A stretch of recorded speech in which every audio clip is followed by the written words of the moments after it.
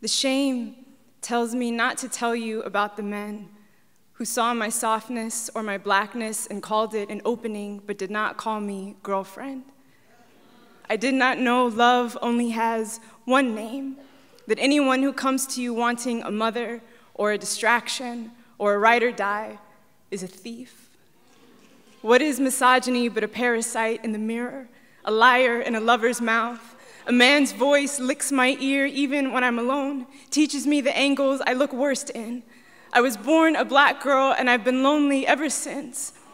My friend, who's not black, says he doesn't know how to deal with rejection because he's never wanted someone who didn't want him back. A privilege to be more than a skeleton with blood everyone can see, to be allowed flesh and soul, to get to be whole. I want to tell you that once I loved a black girl, and it was miraculous. When we were alone, in public, we avoided men. Got asked a lot if we were sisters. Have you ever had to make a choice between truth and danger? Did you know for centuries, white men in brothels have paid to watch black women have sex with each other? Do you know how it feels to be gazed upon, to be looked at under the knife in a man's eye, to know strangers are raising their dicks and soiling your name while you try to make it home? There is no territory untouched by black women's blood. There is no lover I have had that I haven't also feared except her. The shame was wearing my hands when I threw my favorite CDs in the trash. Each girl powered anthem chanted in pop songs reminded me how unsophisticated my interests are.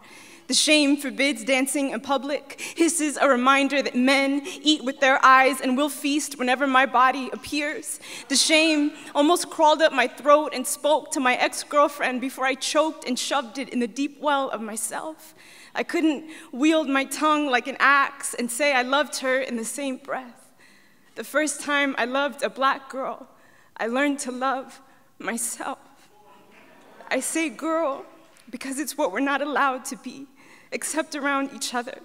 I take back my shaved head, my hair uncurled and nappy, everything I prefer over someone else's image of me. I whisk my six year old self to a tender present, offer the grace I was denied a gentle hand at the back of the neck, a lesson in commitment. Yesterday, I loved a black girl, and today, that girl is myself. Whenever I go missing, let me return here first. Let me choose myself first.